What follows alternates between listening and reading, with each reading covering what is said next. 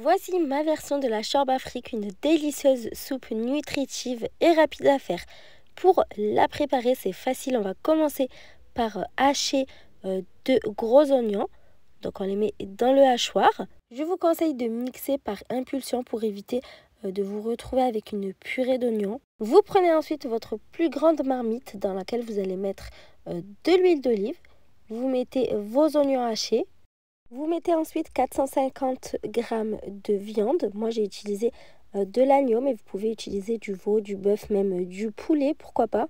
Vous laissez ça en gros morceaux, sinon vous pouvez aussi couper en petits dés, c'est comme vous préférez. Vous pouvez même faire sans viande si vous le souhaitez. Donc on va cuire ça pendant 10 minutes à feu moyen. Pendant ce temps-là, on va hacher un gros bouquet de coriandre. Vous pouvez faire un mix de coriandre et persil. On vient remuer régulièrement pour éviter euh, que la viande accroche au fond de la marmite. Après 10 minutes de cuisson, on va ajouter euh, la coriandre hachée. J'ajoute également deux branches de céleri. On poursuit en ajoutant 400 ml de coulis de tomates. Vous pouvez remplacer par 3 à 4 tomates fraîches.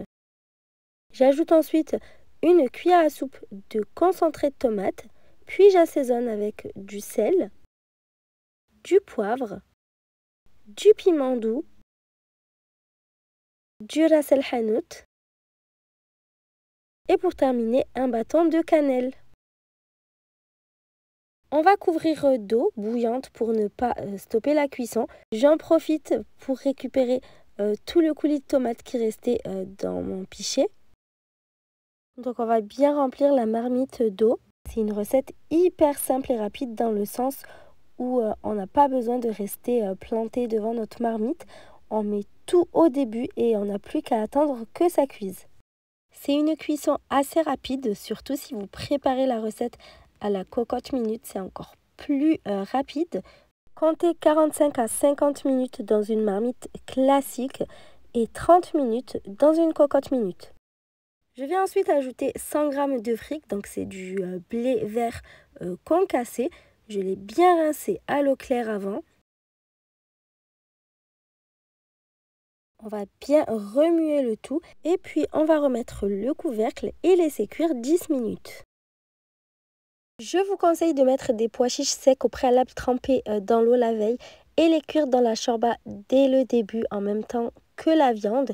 Sinon, par défaut, comme moi, vous utilisez des pois chiches pré-cuits que vous allez venir ajouter en fin de cuisson. Vous ajoutez également encore un petit peu euh, de coriandre haché. Vous mélangez bien le tout, vous laissez cuire encore 5 à 10 minutes en mettant le couvercle. Et c'est prêt, vous n'avez plus qu'à servir et à vous régaler elle est extrêmement goûteuse, la viande est super tendre, c'est un vrai délice. Euh, j'espère vraiment que cette recette vous a plu. Si c'est le cas, comme d'habitude, n'oubliez pas de commenter, de liker et de partager la vidéo. À bientôt